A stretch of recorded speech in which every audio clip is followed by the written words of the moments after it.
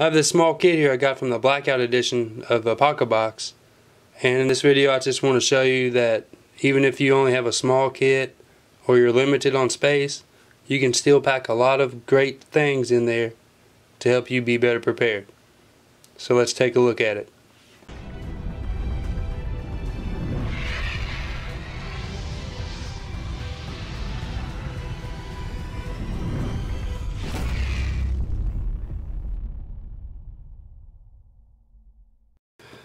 We'll start with the outside here.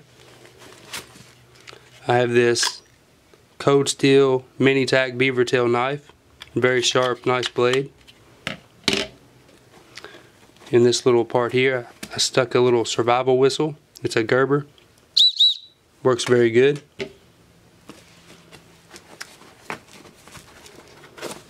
Over here I have a little Ozark Trail flashlight slash lantern. It just runs on AAA batteries.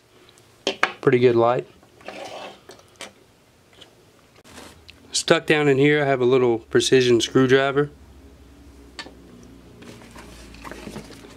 And over here on this side I have a Kubaton. I hope I said that right. But it's a little self-defense tool.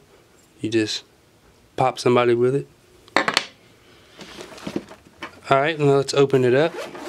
See what's inside. First up here I have a pair of Mechanix gloves. Very good gloves, pretty cheap, affordable, but still good quality. I have a little mask to keep things out of your mouth, out of your face. I have an ink pen, a mini Sharpie. I have a Frontier Pro water filter. It's good for up to like 50 gallons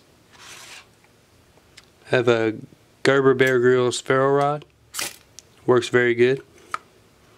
It also has a place for tinder storage up here. I have a large pocket knife. It's a Real Steel Blue Sheep. Great knife. We have a train coming through while I'm making a video, of course. Has some UCO stormproof matches. Uh, these are very good matches. They're waterproof. They even burn underwater. I have a video on that. I'll link in the description if you want to check it out. In this little zipper pouch here, the mini fishing kit with a bunch of hooks, some sinkers, two little sections of line. Should do the job.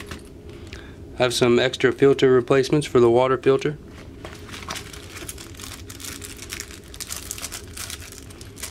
Have a small Fresnel lens to help start a fire.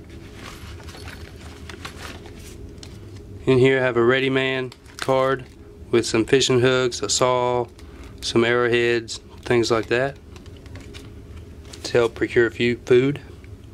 I have a CRKT Viva pocket tool.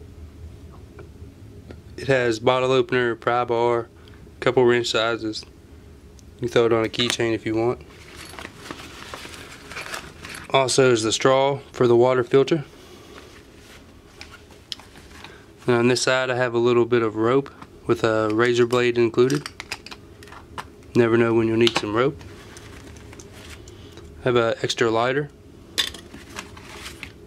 A notepad for writing things down. A little bit of wire. Wire is always helpful. You can use it for many different things a little chunk of fat wood to help start a fire. Just a little garbage bag. Nothing too, uh, nothing great, but it'll hold anything that I need to. And lastly, some liquid skin.